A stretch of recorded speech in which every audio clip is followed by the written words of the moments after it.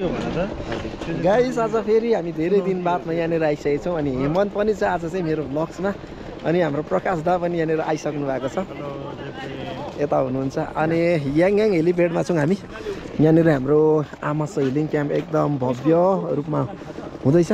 अनि आजदेखि चाहिँ आज आज चाहिँ ओपनिङ हो। फाइभ डेज आमास हिलिङ क्याम्प यस्तो प्रिपेरेसन चाहिँ एकदम दर्रो प्रकारको चलिरहेको छ यहाँनिर।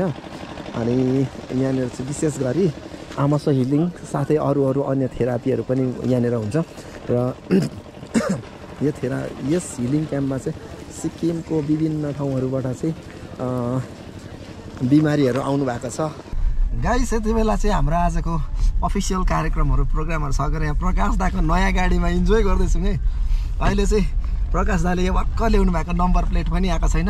यो गाडीमा चाहिँ माथि रोपेतिर घुम्न जाँदैछौँ। याङ याङ यो हेलिप्याडदेखि। अनि एकदमै लग्जरियस गाडी ल्याउनु भएको छ। मिठाई सिठाई खानु डल्लै छ हो। ट्रिट खानु डल्लै छ। गुरुजी यतै हुनुहुन्छ। Hello hello. बाइक पनि छ स्कुटी पनि छ अब यहाँ गाडी पनि थपेको छ हो।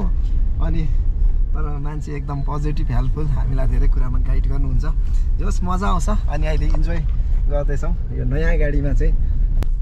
मनोज भाइको भ्लग पनि एकदम माथि पुगोस्। आसमान छोस् है? थ्याङ्क यू तर धेरै मैले राम्रो देखेँ भाइकोमा। कतिवटा राम्रो त्यो भ्लग्समा चाहिँ मैले ज्ञानको कुरा मेन चाहिँ ज्ञानको कुरा धेरै पाएँ जस्तो लाग्यो कतिवटा कुरामा हो। त्यस्तै बरकरार रहोस्। कतै यहाँभित्र होइन नि है? बरकरार रहोस् भन्छु म चाहिँ किन भन्दाखेरि यसरी नै अब।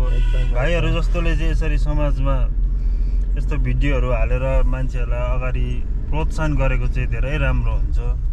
जस्तो लाग्छ है मलाई चाहिँ अब के हो खासमा चाहिँ? Thank you thank you. दाजुलाई हो। निकै दाजुले बढी बढाइ गरिदिइहाल्नु भयो त्यसको लागि धेरै धेरै धन्यवाद। अनि हामी चाहिँ जाँदैछौँ अहिले माथि रोपवेतिर। त्यहाँको भ्यूहरू तपाईँलाई देखाउँदैछौँ। अनि त्यहाँको जुन चाहिँ रोपवे चाहिँ अस्तिदेखि नै उयो चाहिँ भइसकेको छ स्टार्ट अहिले ट्रायल फेसमा छ भनौँ। ट्रायल नै निकै टाइम लाग्छ अरे। त्यहाँबाट चाहिँ इनोग्रेट भएको छैन। त्यहाँ जाँदैछौँ।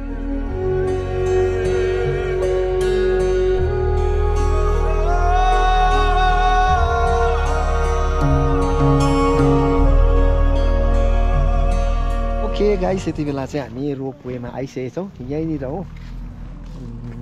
हेरौँ। भित्र जानु दिन्छ कि? दिँदैन जान जानु दिन्छ भित्र? अनि तपाईँलाई यहाँभित्रको भ्यूहरू सबै कुरा देखाउनेछौँ। उँभो चाहिँ एकदम फरेस्टै फरेस्ट यहाँ चाहिँ काम अन्डर कन्स्ट्रक्सन छ यस्तो प्रकारले। दिन्छ जानु। काम एकदम चलिरहेको छ भित्र। अनि भ्यू यहाँनिर पार्क जस्तो पनि बनाइदिने रहेछ यतातिर। अन्डर कन्स्ट्रक्सन सबैतिर। यो एक प्रकारको मजाको धुप्पी रोपिदिनु भएको रहेछ। यो चाहिँ मजाको धुप्पी हो।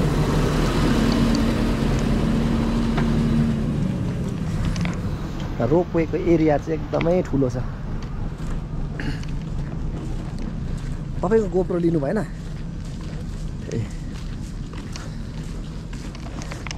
काम धुमधामसँग भइरहेको छ यहाँनिर। यता दुबोहरू पनि हाल्दै गर्छ यहाँ पर अनि यो गेस्ट हाउसहरू के केहरू होला पछि क्याफेटेरियाहरू पनि यता पुरा हुने रहेछ। सबै कुरा एभाइलेबल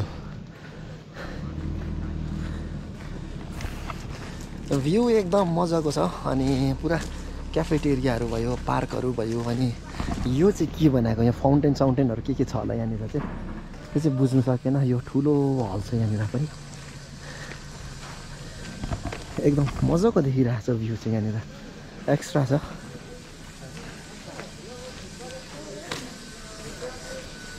उतातिर पनि मजाको फुलहरू एकदम गार्डन सार्डनहरू बनाइदिएको रहेछ।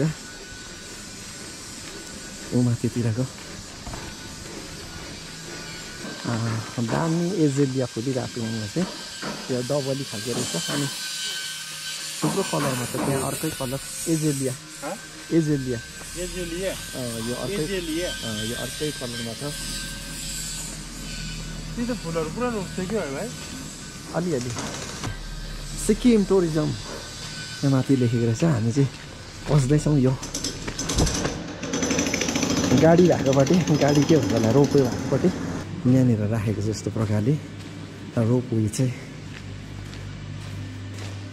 यहाँबाट चाहिँ पछि चढ्नु पर्ने रहेछ टक्कै यहाँनिर यस्तो छ भ्यू हेर्दै जानुपर्ने रहेछ। अनि ऊ माथितिर पनि एकदम ज्यादा राखेको छ। त्यो मसिन चाहिँ मसिन मतलब यो चढ्ने डब्बा चाहिँ। यतातिर पनि एकदमै ज्यादा एउटा दुईवटा तिनवटा चारवटा पाँचवटा छवटा योसँग चाहिँ जम्मा सातवटा रहेछ। अहिले फिलहाल यहाँनिर सातवटा छ। यो यस्तो हुँदो रहेछ। यो इन्जिन चाहिँ भनौँ के भन्ने यसलाई। यो डोरी र यो लट्ठा चाहिँ यहाँनिर घुमेको हुँदो रहेछ। यस्तो प्रकारले।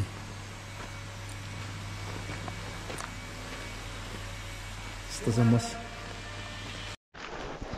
यो रोपवेको ब्याक साइड चाहिँ यस्तो छ। यहाँबाट चाहिँ भाले ढुङ्गा उकालो माथि निस्किन्छ। सबै यो क्लाउड्सहरूले छलेको छ। निकै हाई अल्टिट्युड पर्छ।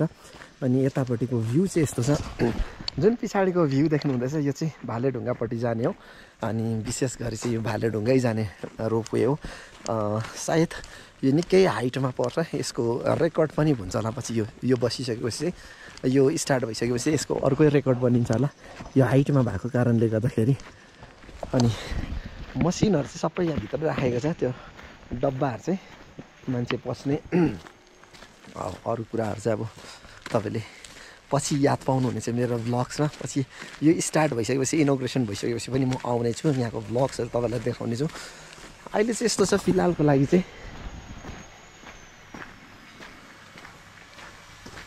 ओके गाइज अब चाहिँ हामी यहाँबाट निस्किँदैछौँ अनि तपाईँहरूलाई देखाइसकेको छौँ सबै यहाँनिर हल्ला एकदम ज्यादा छ यो अन्डर कन्स्ट्रक्सन नै छ अझै पनि। इनोग्रेसन हुनु अझै टाइम लाग्छ होला। लेट्स चाहिँ हेरौँ कति टाइम लाग्छ। पछि इनोग्रेसन भइसकेपछि पनि तपाईँलाई म यहाँको भ्लग्स एक्स्ट्रा भ्लग्स बनाएर देखाउने नै छु। अनि भ्लग्समा कन्टिन्यू बस्नु होला। अब चाहिँ हामी फर्किँदैछौँ। यहाँ दाजुलाई चाहिँ अलिक हतार भयो छिटै फर्किनु हुने होला हो? होइन तल उयो भएर सरले फोन गर्दैछ नि त। उसहरूले अर्को सरले ए तल्लोबाट कल आउँदो रहेछ त्यसै कारणले हामी फोनमा चाहिँ फर्किनु पर्ने बेला भयो। तर जे धेरै समय बादमा आयो राम्रो लाग्यो। नयाँ ठाउँ